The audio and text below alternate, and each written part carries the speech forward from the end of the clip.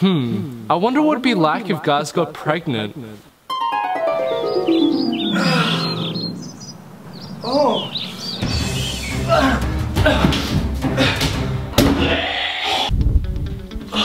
Whoa, Alex, you feeling alright? No, man, I feel terrible. I think you might want to try this. What's this? It's a thermometer. Just piss on it and then tell me what the temperature is when you come out, okay? Alright, if you say so. Mate, so what'd you get? It says 69 degrees. Mate. What? Mate. What? Mate. What? What does it mean? Bro, means you're pregnant. No!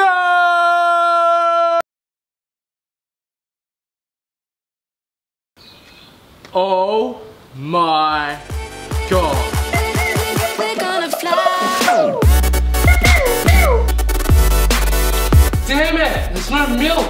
Milk! Oh well. Stop it! Stop it, Alex! Stop it!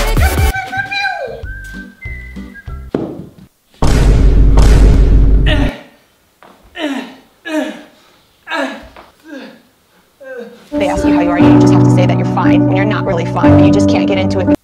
Oh, little Jeremy would look so cute in that. And the hat, oh, and the little shoes. Oh, look at that little, oh, that little, oh. Oh, look at this one. Little budding chef. A little knife. Babe, I can't keep having this conversation with you. I'm the one holding the baby, okay? We're gonna call him Jet. Alex, we are not naming our son Jet. Why don't we let him decide then? Fine. I wanna be named Jet. See, babe, I told you. Doc, just rip this thing out of me! This is nearly as bad as the cold I had last week. Oh, he looks so cute. Just like his mother. Isn't he just the cutest thing? With little Lucy in the way, I can't even see my dick anymore. Really, I could see mine until seven months. You're kidding me? Nah, I'm just kidding with you. It was gone after a week.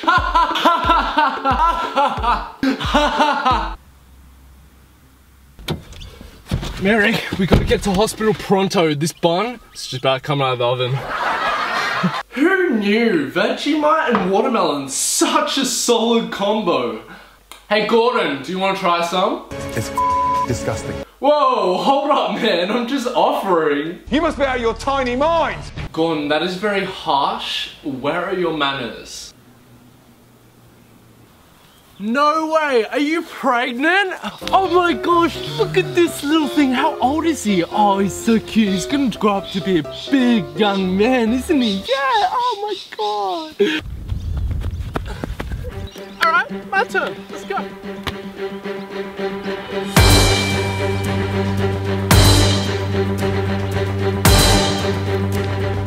Oh, oh it's so cute.